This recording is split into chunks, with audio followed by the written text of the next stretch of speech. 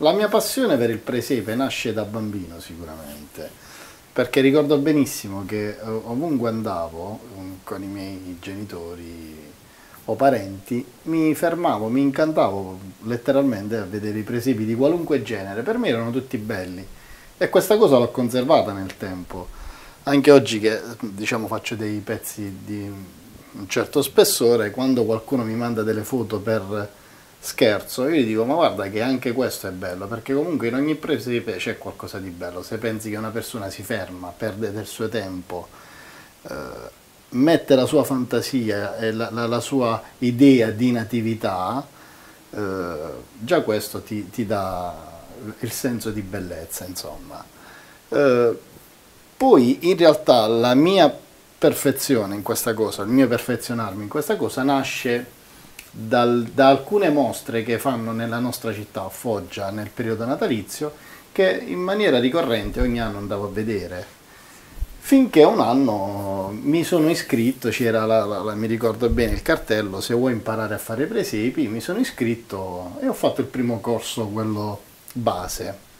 Da quel giorno poi è stata un'escalation perché ho fatto, una, ho fatto e faccio una serie di corsi oggi addirittura vado a fare dei corsi con dei maestri a livello internazionale che appunto portano il presepe eh, in tutta Europa.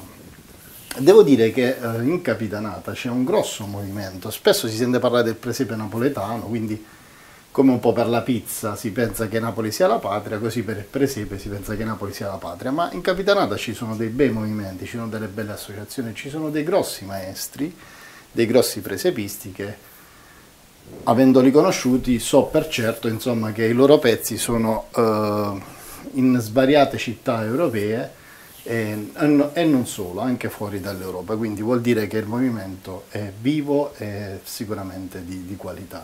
Da bambino a casa abbiamo sempre fatto il presepe. Eh, ricordo che veniva una mia zia a casa ad aiutarci perché eh, avendo un ingresso grande a casa di mia madre eh, mio padre faceva una struttura in legno, sul, ma ti posso dire a dimensioni di due metri per, per uno e mezzo probabilmente, sul quale andavamo a fare il presepe con questa mia zia, io e lei. Quindi io ero l'addetto della famiglia.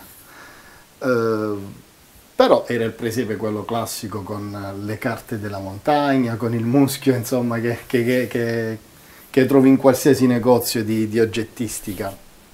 Invece tornando ad oggi o arrivando ad oggi eh, si usano dei materiali completamente diversi. Oggi eh, il presepe che realizzo viene fatto con materiali tipici proprio dell'edilizia, quindi la malta, quindi il cemento rapido, il fugante. Eh, voglio dire, a questo si è arrivato come, come dicevo mh, attraverso una passione nata da, bambina, si, da bambino, sicuramente una passione trasmessa da questa mia zia che aveva uh, il piacere di fare ogni anno il presepe con me a casa mia. Premetto che per me, come ho detto, i, i presepi sono tutti belli, non solo i miei. Uh, io ogni volta che faccio un presepe, l'ultimo è sempre il più bello. Mi capita questo. Uh, però se devo andare un po' a vedere nella mia, nella mia diciamo, galleria, Ce n'è uno al quale sono particolarmente eh, legato che eh, ho fatto per il Natale 2020 per eh, la chiesa di Madonna della Libera eh, a Macchia, località Macchia, eh, quindi mattinata in provincia di Foggia, che oggi è esposto nella chiesa appunto di Madonna della Libera. Eh, me l'ha commissionato padre Alfredo, il padre che appunto si occupa di quella, di quella parrocchia e diciamo che a quello sono particolarmente legato perché non lo so, mi ha colpito di più. Pensa che è nato in questo modo. Padre Alfredo mi eh, contattò per fare un piccolo presepe a casa sua. Sul mobiletto andai, vidi dove doveva farlo e prendemmo accordi. Uscendo di casa mi sono visto questa piazza di Madonna della Libera che mm, mi ha subito colpito, ho detto bellissima, sarebbe bello fare un presepe qui. E lì è nata l'idea di fare un presepe ambientato in quella località di macchia.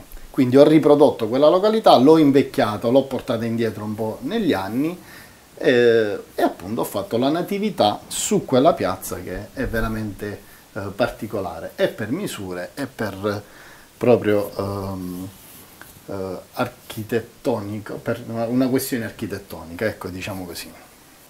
Allora, il presepe che oggi realizzo nasce da un elemento imprescindibile, il, eh, sicuramente il più importante, che è questo. Si chiama eh, polistirene estruso. Praticamente questo viene tagliato nelle misure, nelle forme che vuoi e realizzi la struttura in polistirene. Poi questa viene modellata, eh, ingessata, intonacata, colorata e alla fine anche invecchiata. Mm, voglio dire una cosa, eh, il, il polistirene è diverso dal polistirolo, non è quello che lo rompi e fa le palline ma è un materiale che se lo vai a schiacciare conserva la memoria della forma che gli dai. Questo è molto importante per poi realizzare questi mattoncini che vengono appunto applicati uno per uno, quindi in tutti i miei lavori qualunque mattone si possa vedere, anche da quelli più nascosti, vengono realizzati e applicati uno per uno, oltre che colorati e invecchiati. Quando comincio a fare un presepe, parto dal eh, eh, dove lo voglio ambientare, quindi già da mesi prima, eh, farmi dire, mi trovo in giro, vedo un casolare che mi intriga o un albero particolare, io me lo fotografo perché poi da questi elementi messi insieme vado a sviluppare il progetto. Un arco particolare, un balcone rotto, ehm, perché appunto mi servono tanti elementi per sviluppare il progetto. Partendo dal progetto poi si va a mettere in pratica, quindi la realizzazione della struttura e poi ci sono svariati passaggi che ti portano a questo lavoro finale. La, eh, parte più eh, importante per me del presepe e poi, forse è scontato dirlo, la natività, che io provo a realizzare sempre in maniera aperta, cioè evito di mettergli porte, finestre dove devi vedere attraverso, perché comunque deve essere la parte centrale, quasi sempre illuminata da una luce bianca che dovrebbe rappresentare la, il momento dell'arrivo della gloria. Uh, un'altra uh, cosa che ci tengo a dire, mi piace uh, migliorare volta per volta la tecnica per rendere sempre più realistico il, il pezzo. Ecco il perché il, la mia necessità di dover fare sempre corsi di aggiornamento, dove mh, mm, è inutile dire, non è che in un corso uno può imparare tutto ma ci sono svariati, eh, svariate sezioni con maestri diversi nel settore specifico. Per esempio ci sono dei maestri specializzati nella realizzazione della vegetazione, quindi eh, un ulivo.